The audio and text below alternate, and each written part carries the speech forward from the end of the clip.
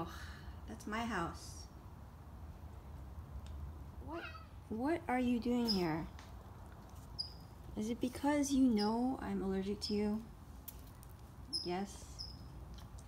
Admit it.